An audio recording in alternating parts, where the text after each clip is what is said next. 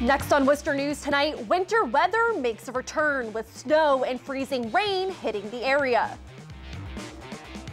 Plus, it's a long time coming. We're getting our first look inside one of the city's new schools. Good evening, everyone. Thank you for joining us. I'm Olivia Lemon.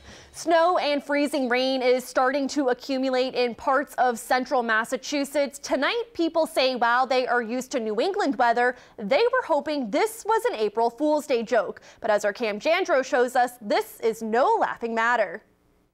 Good evening, Olivia. They say April showers bring May flowers, but I don't think they mean snow showers. Tonight, parts of central Massachusetts are expected to see snow and freezing rain. We caught up with a few people in the area to get their reaction on this crazy weather. Uh, you would think it's a joke, but it's definitely not. Uh, it's, it's crazy, and you know, out here, uh, especially when you go further into Princeton, but when you go go right through Holden and Oxford, it's a totally different story. So it's it's it's intense weather for sure.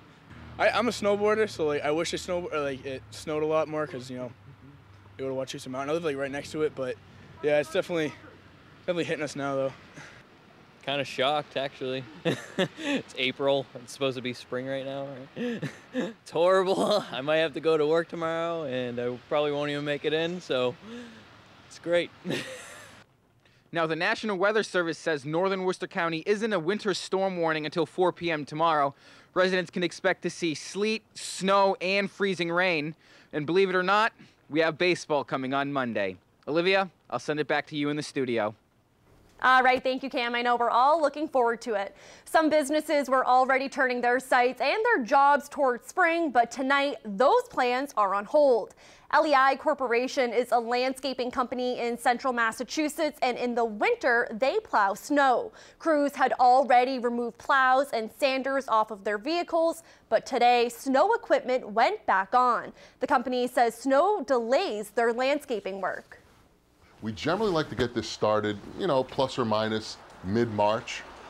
So the downside of this is we're going to have maybe three to four weeks to do six to seven weeks worth of work. And we'll get a closer look at our local forecast coming up later this half hour.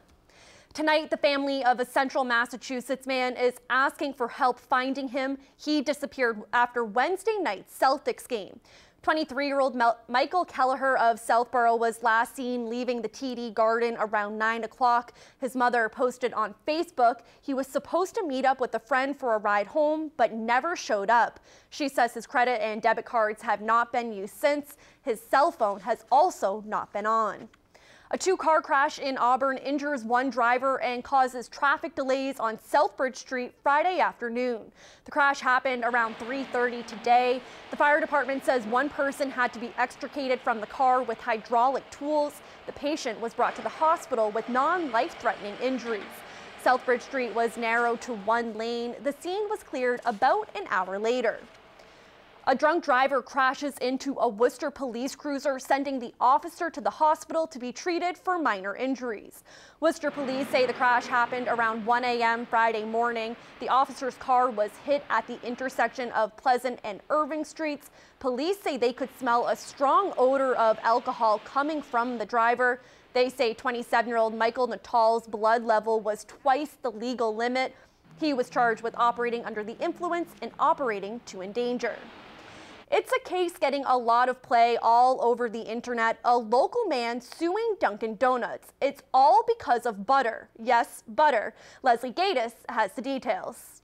I'd like butter, like real butter. So does Jan Polanik. The Worcester area man is holding Dunkin' Donuts accountable. In a pair of lawsuits filed last week, he claims when he asked for real butter on his bagel, he was given a butter substitute.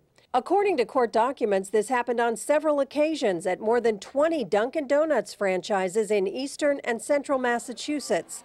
He says Dunkin' knowingly charged him an extra 25 cents for it and never told him it wasn't the real deal. If a guy wants to sue and make some money off it, that's more power to him. According to the Boston Globe, he and his attorney thought long and hard about whether to sue. I think it's a little silly, if anything. Not everyone agrees. Very few cases are open and shut in, in the real world, but this, this is a very, this, in my view, this would be a very strong case. Consumer rights attorney Ken Quat says we shouldn't believe the plaintiff was looking to cash in. Instead, he says this case should force consumers to pay more attention to what they are actually getting for their money. They might ask more questions, they might read the fine print, and that all contributes to a more honest and open marketplace. The Boston Globe reports the lawsuits have been settled.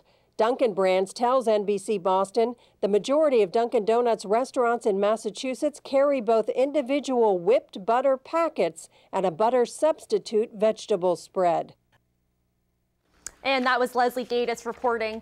An update on the case of a Brookfield trooper who recorded stops without authorization. That trooper now being sued by the man whose arrest sparked an investigation. Aladdin Connolly of Shrewsbury claims Trooper Nicholas Holden violated his constitutional rights. Connolly was arrested for drunk driving in 2014. A judge later dismissed the charge. State police are investigating Holden's actions. Punishment could include termination. Construction at the new Nelson Place Elementary School in Worcester is on schedule. Today, school and community leaders got a tour to see the progress being made. Our Roslyn Flaherty has the details.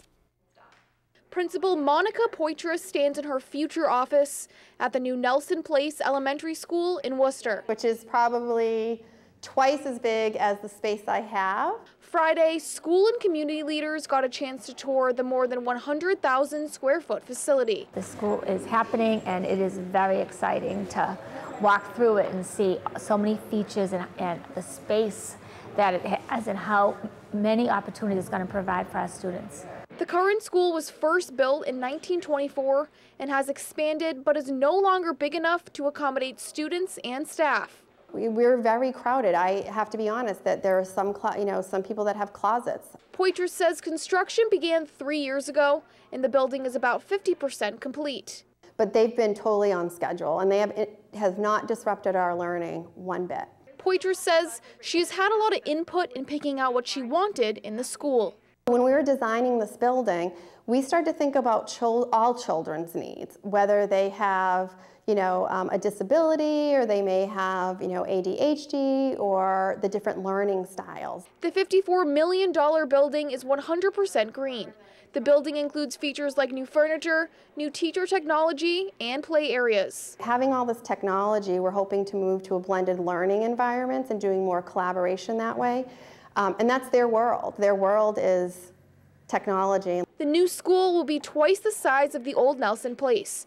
It will be able to serve 600 kids from kindergarten through sixth grade and will also include a preschool. Poitras says the school community is excited about their future. It's been a long time coming from them.